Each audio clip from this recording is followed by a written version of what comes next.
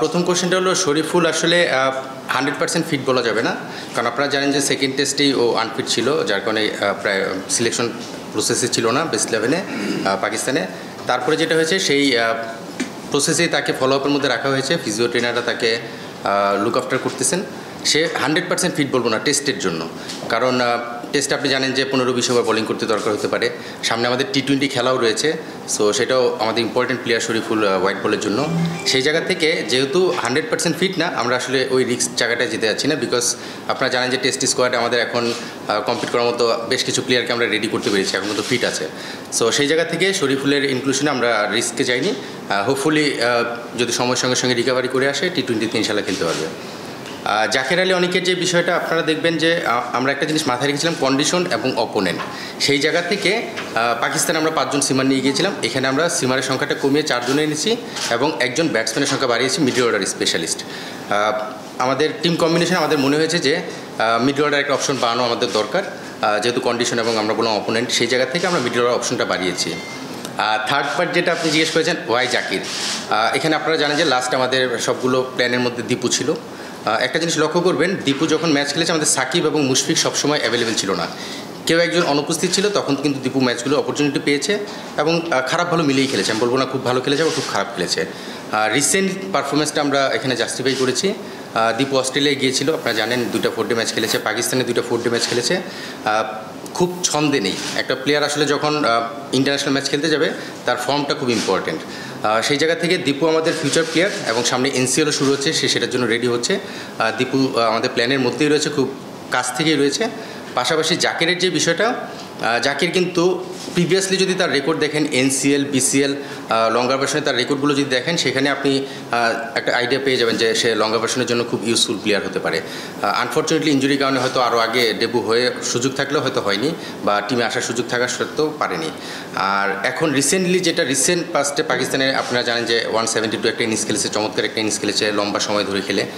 সব কিছু কনসিডারেশনে আমরা জাকিরকে একটু এক স্টেপে বেরিয়ে গেছি জাকের অনেককে বিবেচনায় আনলেন হুম হুম। আপনি বললেন লম্বা ইনিংস লম্বা ইনিংস রানের নিরিখে বা সময়ের নিরিখে ধরলে বলের নিরিখে ধরলে অনেক বেশি লম্বা ছিল সাইফ আপনারা সাইফের Right. না। লঙ্গার ভার্সনে সাইফের মতো একটা ব্যাটসম্যানকে কি আপনারা মানে ভবিষ্যতে ব্যাক করার চিন্তা করেন?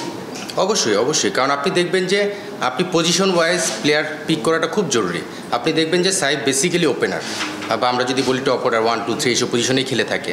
তো ওই পজিশনে আমাদের সাদমান, জাকির এবং জয় তিনজনই কিন্তু মোটামুটি রেগুলার প্লেয়ার আমাদের এবং ফিট থাকলে যে কেউ খেলতে পারে। তো সেই জায়গা থেকে আমরা মিডল অর্ডার অপশনটাতে আমরা একটা অপশন বাড়িয়েছি। কারণ আপনারা জানেন যে এখানে আমাদের মিডল অর্ডার যারা খেলছে, তাদের এই মুহূর্তে একটা ব্যাকআপ অপশন বা আমরা যদি মনে করি মিডল অর্ডার সংখ্যাটা একটু বাড়িয়ে নিলে, যে কোনো সিচুয়েশনে ডিমান্ড করলে সেটা ফুলফিল করতে পারে। সো সেই জায়গা থেকে আমরা মিডল অর্ডারের জায়গাটা বাড়িয়েছি বিকজ ওপেনার আপনারা জানেন যে অলরেডি তিনজন রয়েছে বাট সাইফও খুব আমাদের কাছাকাছি রয়েছে অবশ্যই।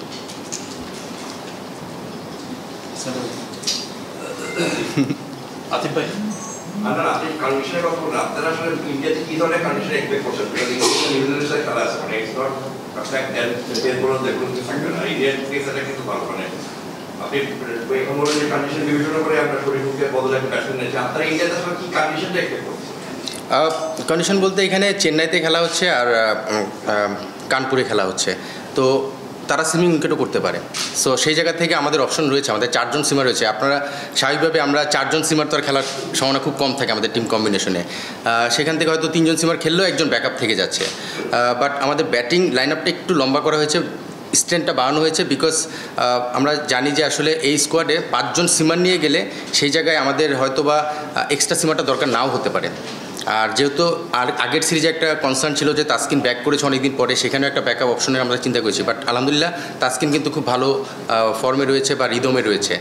তাস্কিন এসেও কিন্তু টেস্টে ভালো বোলিং করেছে। সো সেই জায়গা থেকে সিমিং অপশনটায় আমাদের এখন ওই চারজন সিমার দিয়ে আমরা সেই কভার করতে পারি। আসলে কন্ডিশনটা হোম সিরিজ হলে সাধারণত সবগুলো টিমই তাদের একটা অ্যাডভান্টেজের কথা চিন্তা রেখেই করে। সেই জায়গা থেকে তারা তাদের মতো করতেই পারে বাট আমাদের পেস স্পিন আপনি যদি দেখেন দুইটা ডিপার্টমেন্টে কিন্তু আমরা সেখানে কভার করেছি। সো স্পিনও কিন্তু আমাদের তাইজুল এবং নাইম হাসান ম্যাচ খেলেনি। তারাও কিন্তু পাকিস্তানে ছিল সাকিব মিরাজ ম্যাচ খেলছে। সো স্পিনটা আমাদের কিন্তু অলরেডি খুব ভালো একটা শেপে রয়েছে। সঙ্গে পেস বোলিং চারটা নিয়েও কিন্তু খুব ভালো একটা স্টেজে রয়েছে আমরা। সঙ্গে ব্যাটিংও আমরা চিন্তা করলাম যে একটা অপশন বাড়িয়ে নিলে প্রয়োজনে আমরা সেটা কাজে লাগাতে পারব। মানে এবং বলা তাকে একটু রোটেট করে হবে মানে বলবেন ইন্ডিয়ার জন্য মানে আপনার ব্যাটিং যে ব্যাটিং এত লম্বা ব্যাটিং করেন তার সাথে বড় সেটটাই যে কি হলো টেস্ট নাস্তি কি পরের পরটা আমি বুঝিনি আরেকবার বলবেন তাস্কির একটা বললেন, হ্যাঁ। সেটা বুঝলাম। হুম হুম সেটা সেটা ক্লিয়ার তারপরে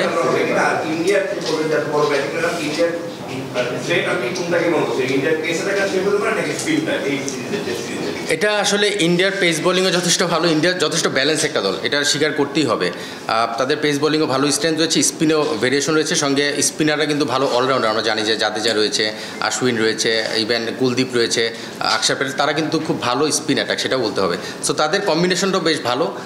তারা যেই কন্ডিশনে সাজানো উইকেট যেই ধরনের করুক না কেন, তাদের যেমন স্ট্রেংথ রয়েছে, আমরা মনে করি যে আমাদের সেই সমমানের স্ট্রেংথ রয়েছে স্পিন এবং পেসে সো আমার মনে হয় যে সেটা আমি আসলে আলাদা করে বলতে চাই না তাদের পেস বা স্পিন আর আপনি তাস্কিনের যে ব্যাপারটা বললেন তাস্কিন অবশ্যই আমাদের যেহেতু সব ফর্মেটে এখন খেলছে। মানে আগে ছিল শুধু হোয়াইট বলে, এখন রেড বলে খেলা শুরু করেছে। সো এখানে ওয়ার্কলোডের একটা ব্যাপার থাকে এবং ফিজিও ট্রেনারদের সঙ্গে আমাদের এই কমিউনিকেশনটা রেগুলার হচ্ছে। তাকে কীভাবে আমরা ইউজ করব, কোন সময় কতটুকু ইউজ করা যেতে পারে, সেটা আমরা সময়ের সঙ্গে সঙ্গে ডিসাইড করব।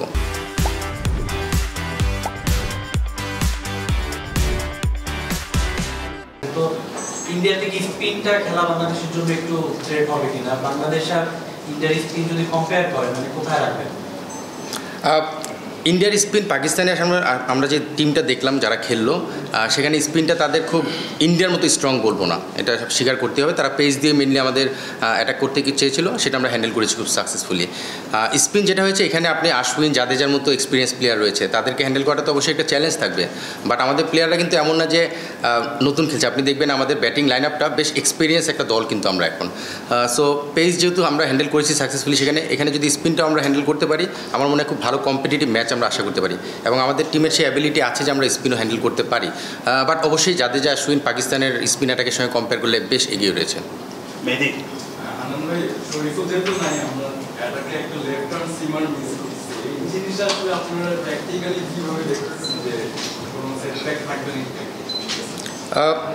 লেফট আর্ম একজন পেস বোলার থাকলে যেটা হয় টিম কম্বিনেশন অনেক সময় একটা ভেরিয়েশনের অপশন থাকে। কিন্তু আসলে এখন তো আমাদের অপশন আসলে নেই। আমরা যদি দেখি আমাদের পেসের যে একটা পুল যদি আমরা দেখি, সেখানে left arm pace bowler Mustafiz এবং শরীফুলি আমাদের প্রাইম পেস বোলারের মধ্যে পড়ে। যেহেতু মোস্তাফিজ আমাদের এই ফর্মেটটা খেলে না, সেখানে শরীফুল যেহেতু একটা ইঞ্জুরি কনসার্ন রয়েছে তো স্বাভাবিকভাবে আমরা করিনি তাকে আর চিন্তা করিনি টেস্টে বাট হ্যাঁ এই অপশনটা হলে একটা ভেরিয়েশন আসে। বাট আমি সবসময় একটা জিনিস বিলিভ করি আসলে রাইট আর্ম লেফট আর্ম যেটাই হোক বেস্ট প্লেয়ারটা খেলা জরুরি। আপনি দেখবেন, আম- আমাদের ব্যাটিং লাইন আপে বেশ অনেক লেফট হ্যান্ড ব্যাটসম্যান রয়েছে। কিন্তু এখানে লেফট হ্যান্ড রাইট চেয়ে আমার বেশি ইম্পর্টেন্ট হচ্ছে সে আমাদের কতটুকু সাকসেসফুল প্লেয়ার হতে পারে এবং কতটুকু অ্যাবিলিটি তার রয়েছে। সো সেই জায়গা থেকে কনসিডারেশনে আমাদের রাইট হ্যান্ড বলার যারা বলিং করবে আমার বিশ্বাস যে তারাও সেটা ডেলিভার করতে পারবে।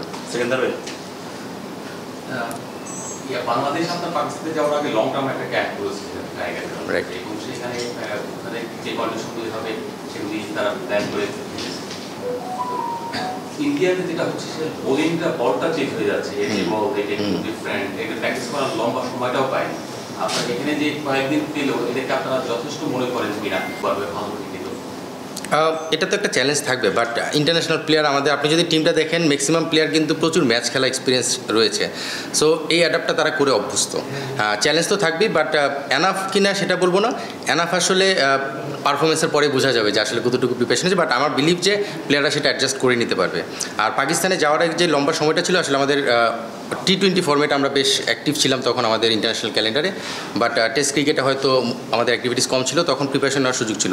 বাট এই সময়ের মধ্যেও কিন্তু প্লেয়াররা সে নিজেদের প্রিপারেশনটা নিয়ে নিয়েছে এস জীবনের মাধ্যমে। সো আমার বিশ্বাস যে তারা সেটাকে খুব সুন্দরভাবে হ্যান্ডেল করতে পারবেন। বাংলাদেশ টিমকে ব্যালেন্স না ব্যাটিং বোলিং কোন একটা রাখবেন আপনার টিমের আমার তো মনে হয় চমৎকার ব্যালেন্স একটা দল। আপনি যদি দেখেন আমাদের চারজন সিমার রয়েছে, চারজন স্পিনার রয়েছে ইনক্লুডিং দুইজন অলরাউন্ডার সাকিব এবং মিরাজ।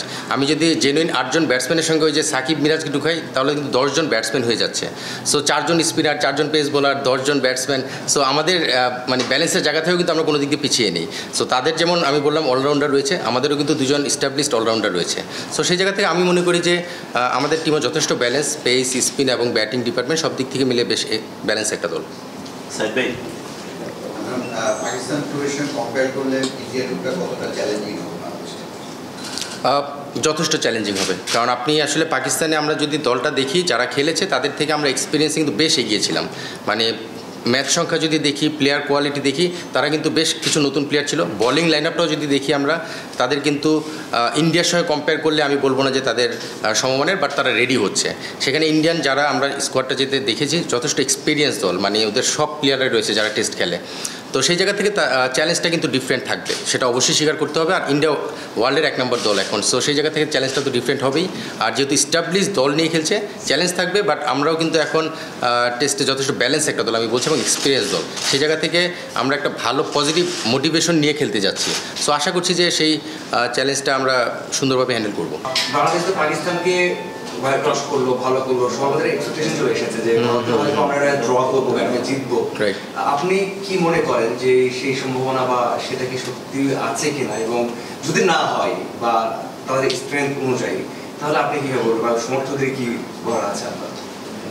আসলে এখানে টোটাল কন্ডিশনটা চেঞ্জ দলও চেঞ্জ এবং র্যাঙ্কিংয়ের পজিশন থেকে বোঝা যাচ্ছে ইন্ডিয়া কতটা স্ট্রং দল। আমরা কিন্তু বেশ এগিয়ে এসেছি স্টেপ এগিয়ে যেয়ে। তো সেই জায়গা থেকে আমার কাছে মনে চ্যালেঞ্জ থাকবে বাট আমাদের দল কিন্তু এখন ইনএক্সপিরিয়েন্স বা আমরা ছোট দল বা আমরা ভালো করব না, সেটা বলার সুযোগ নেই। আমাদের দলে কিন্তু দেড়শো দুশো করা প্লেয়াররাও রয়েছে এবং তারা কিন্তু ফর্মে রয়েছে। একটা প্লেয়ারের সবচেয়ে ইম্পর্টেন্ট হচ্ছে তার ফর্মটা কেমন যাচ্ছে। সেই ফর্মটাকে কন্টিনিউ করার একটা চ্যালেঞ্জ থাকে। সেটা যদি তারা কন্টিনিউ করতে পারে আমার মনে হয় এটা পসিবল এবং কন্ডিশনটা এমন না যে লাইক আমরা অনেক সময় বলি যে আহ, বাইরের ইংল্যান্ড অস্ট্রেলিয়া সেই ধরনের কন্ডিশন সেরকম না। ইন্ডিয়া যে ধরনের কন্ডিশনে হোক না কেন আমাদের সঙ্গে কিছুটা সিমিলারিটি রয়েছে। সেই জায়গা থেকে কন্ডিশন অ্যাডাপ্টেড যে ব্যাপারটা সেটাতেও কিন্তু আমরা অ্যাডজাস্ট করতে পারব। চ্যালেঞ্জ থাকবে বাট আমি বলব না যে একদম পাকিস্তানের সঙ্গে যতটা কমফোর্টেবলি আমরা ডোমিনেট করে উইন করে এসেছি সেই কমফোর্ট জোনটা হয়তো থাকবে না বাট ভালো খেললে অবশ্যই জেতা সম্ভব। বলছিলেন যে সাকিব আল হাসানের এই মুহূর্তে আসলে ব্যাটিংটা খুব একটা ফর্মে নেই। আমরা পাকিস্তানের বিপক্ষে টেস্ট দেখতাম সেকেন্ড টেস্ট অপরাজিত ছিলেন। সাড়ে থেকে খেলতে সেখানেও ব্যাটিং স্ট্রাগল করছে সেটা নিয়ে আসলে আপনার কতটা ওরি ওই জায়গায় সাকিব আল হাসানের ব্যাটিং সাকিবের ব্যাটিংটা আসলে ছন্দে নেই। এটা আমি যেটা একটু আগে বললাম যে ফর্মটা খুব ইম্পর্ট্যান্ট সাকিব ফর্মে নেই। আবার টেস্ট ক্রিকেট একটা বিষয় কি, ফর্মে ফেরার সময়টা থাকে। মানে আপনি টি টোয়েন্টি ওয়ানডেতে কিন্তু সেই সময়টা হয়তো থাকে না, রানের তাগিদ থাকে ব্যাটসম্যানদের রান করার একটা তাগিদ থাকে, সময় কম থাকে। টেস্ট ক্রিকেটে কিন্তু সেই সময়টা থাকে। আমি আমি বিশ্বাস করি সাকিব যেই মানের প্লেয়ার আসলে একটা ইনিংসের ব্যাপার, একটু সময়ের ব্যাপার। সে যদি সেটা করে নিতে পারে, সেই ফর্মটা ফিরিয়ে আনবে। সবচেয়ে বড় অ্যাডভান্টেজ হচ্ছে সাকিব যদি দলে খেলে আমরা দেখছি যে সে পাঁচে ছয় এইসব পজিশনে ব্যাটিং করবে আমরা সোফার চিন্তা করি। এটা কিন্তু অপোনেন্ট টিমের জন্য একটা চিন্তা যে সাকিব উইকেটে রয়েছে। এই দুই, চার, পাঁচ ইনিংস দেখে কিন্তু সাকিবকে কেউ রেড করে না সো আমরাও রেড করতে চাই না। সাকিব একজন অলরাউন্ডার এবং ব্যাটসম্যান হিসেবে ওই পজিশনের প্লেয়ার জাস্ট একটা ইনিংসের ব্যাপার, সেটা করে ফেলতে পারলে, সময় নিয়ে যদি করে ফেলতে পারে, আমার মনে হয় যে সে তার ফর্মে ফিরে আসাটা সময়ের ব্যাপার। অবশ্যই অবশ্যই উপরে ব্যাটিং করার যদি সময় আসে, সেটা করবে। এখন আসলে টিম কম্বিনেশনে টিম ব্যালেন্সিংয়ের কিছু ব্যাপার থাকে টিম কম্বিনেশনের কিছু ব্যাপার থাকে। সেই কম্বিনেশনে কিন্তু মিরাজকে ওই পজিশনে খেলতে হচ্ছে এবং ওই জায়গায় যে একটা ইম্পর্টেন্ট রোল প্লে করছে সেটাও আমাদের জন্য কিন্তু একটা পাওয়া। সো উপরে ব্যাটিং যদি দলের প্রয়োজন হয় অবশ্যই করতে পারে সেটা কিন্তু সে প্রমাণ করেছে। সো মিরাজ তো আমাদের প্ল্যানের মধ্যে সবসময় থাকে এবং সেটা যদি দলের প্রয়োজনে কখনো উপরে প্রয়োজন হয় অবশ্যই ব্যাটিং করার অ্যাবিলিটি তার আছে সেটা প্রমাণ করেছে। এখন টিম কম্বিনেশন যখন সাজানো হবে তখন হয়তো যদি কোনো ম্যাচে মনে হয় যে তাকে উপরে ব্যাটিং করানো প্রয়োজন সেটা করা যেতেই পারে সে প্রুভেন প্লেয়ার না পয়েন্ট বলে দুর্দান্ত ফর্মে রয়েছেন সাকাই মুস্তাক আসলে মুস্তাক আহমেদ বলছিলেন যে আসলে তিনি টেস্টেও দারুণ কার্যকর হতে পারেন। আপনাদের প্ল্যানে আসলে তিনি আছেন কিনা কিংবা নিয়ে কোনো আলোচনা ইন্ডিয়া সিরিজের আগে? অবশ্যই প্ল্যানে আছে। আসলে লঙ্গা ভার্সন খুব বেশি এক্সপিরিয়েন্স নেই রিশাদের। আসলে টি টোয়েন্টিতে যেটা হয়, চার ওভার ওয়ান ডেতে দশ ওভার টেস্টে খেলতে গেলে হয়তো যদি একজন মেইন বলার হিসেবে খেলে, হয়তো পনেরো বিশ ওভার করতে হতেই পারে। সেই লোডটা এখনও তাকে আমরা নিতে দেখিনি। কারণ এনসিএল খুব বেশি ম্যাচ খেলার সুযোগ হয়নি, এই ধরনের পরিমাণ বলিংও তার করা হয়নি। সো আমরা চাচ্ছি যে সে লঙ্গার ভার্সনে ম্যাচ খেলে তারপরে টেস্ট টিমে আসুক এবং লঙ্গা ভার্সন যখন খেলবে তখন তার জন্য ইজিয়ার হয়ে যাবে। কারণ আসলে চার ওভার দশ ওভার বলিং করার পনেরো, বিশ ওভার এবং ফিল্ডিং রেস্ট্রিকশন থাকে, সবগুলো ব্যাপার রয়েছে। ঋষাদ যদি টিমে চলে আসে, এটা কিন্তু একটা বিশাল পাওয়া হবে। কারণ আমরা জানি যে লেগ স্পিনার যে কোনো ফর্মেটই কিন্তু ডেঞ্জারাস হয়ে যেতে পারে। সো ঋষাদ যদি টেস্ট টিমে আমাদের রেডি হয়ে আমরা ইনক্লুড করতে পারি সেটা অবশ্যই আমাদের জন্য একটা পাওয়া হবে। বাট আমরা তাড়াহুড়া করতে চাচ্ছি না। আমরা সময় নিচ্ছি, তাকে রেডি করে তারপরে আনব যেন হুট করে যে একটা চ্যালেঞ্জের মুখে পড়ে আবার নেগেটিভ ইম্প্যাক্ট না পড়ে। সো সেই জায়গাটা আমরা নজর রাখছি। বাট ঋষাদ আমাদের প্ল্যানে রয়েছে সামনে এনসিএল আছে সে সেই ফর্মেটটা খেলবে খেলে তারপরে তাকে আমরা দেখব যে আসলে কী অবস্থা রয়েছে। কোশ্চেন হয়েছে আর কোনো কোশ্চেন আছে তোমার? ওকে বাবু ভাই না, তাই। গেছে? আদিব ভাই? আন্না মানে আপনি গত বোর্ডের আমলে আপনার সিলেকশনটা আসলো এবার নতুন একজন প্রেসিডেন্ট আপনার সিলেকশন ছিল গত বোর্ডের বোর্ড প্রেসিডেন্ট করে ইন্টারভিউ দেখা যাচ্ছে বোঝা যাচ্ছে যে ইন্টারভিউ যাচ্ছে এই মানে বলা কীরকম ছিল? কোনো ছিল না, ফারুক ভাই তো বেসিক্যালি ন্যাশনাল সিলেক্টর ছিলেন। তার আগে ফর্মার ক্যাপ্টেন ছিলেন প্লেয়ার ছিলেন। সো ফারুক ভাই আসলে এই জিনিসগুলো খুব ভালোই বোঝেন। স্বাভাবিকভাবে আমাদের যেটা ক্রিকেট বোর্ডের প্রসিডিউর যে আমরা সিলেক্টারের টিম অপারেশনসে দিই, সেখান থেকে যে প্রেসিডেন্টের কাছে সাইন নেওয়ার পরে সেটা প্রেস রিলিজে আসে বা মিডিয়ার সামনে আসে। তো সেখান থেকে ফারুক ভাইয়ের কাছে যাওয়ার পরে যদি কখনো কোনো কোয়ারি থাকে, ফারুক ভাই অবশ্যই আমাদেরকে জিজ্ঞেস করবেন। সো প্রেসিডেন্টের যদি কোনো কোয়ারি থাকে, জিজ্ঞেস করবেন বাট এখন পর্যন্ত এই টিমটাই তো আমরা দিলাম আসলে বেসিক্যালি তো এই টিম দেওয়ার পরে সেরকম সেই ধরনের কোনো কোয়ারি আসেনি। বাট অবশ্যই প্রেসিডেন্ট অলওয়েজ সেই বিষয়গুলো অবজার্ভ করবেন যদি দরকার হয়। পাকিস্তানের সঙ্গে টেস্ট সিরিজটা জেতার পরে একটা চর্চা খুব বড় আকারে হচ্ছে ভক্তদের মধ্যে।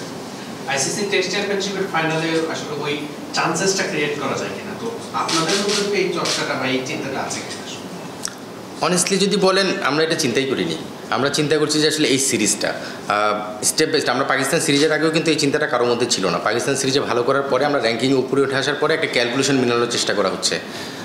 প্লেয়াররা যখন খেলতে নামে তখন আসলে অন্য কিছুই চিন্তা করে না। আর এই র্যাঙ্কিংয়ের বিষয়টা অফ দ্য ফিল্ডে হয়তো অনেক আলোচনা হতে পারে বাট আমাদের সিলেকশন প্যানেলের মধ্যে আসলে এই বিষয়টা নিয়ে একদমই আলোচনা হয়নি এবং আমরা না এটা নিয়ে আসলে ভাবতেও চাচ্ছি না কারণ আমরা জানি যে প্রতিটা ম্যাচ প্রতিটা সিরিজই ইম্পর্টেন্ট তো সেই জায়গা থেকে আমরা ম্যাচ বাই ম্যাচ বা আপনি যদি বলেন সিরিজ বাই সিরিজ আমরা আগাতে যাচ্ছি সময়ের সঙ্গে সঙ্গে যেটা যেখানে যাবে আমরা সেটার সঙ্গে মিলে যাব আর কি।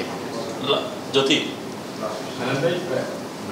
কোচ কিংবা অধিনায়কের বিশেষ কোনো চাওয়া ছিল কিনা? বিশেষ করে জাকির নেওয়ার ক্ষেত্রে আপনাদের কারও চাহিদা ছিল? এখানে জিনিসটা হলো কোচ ক্যাপ্টেনের সঙ্গে আমরা ডিসকাস করি।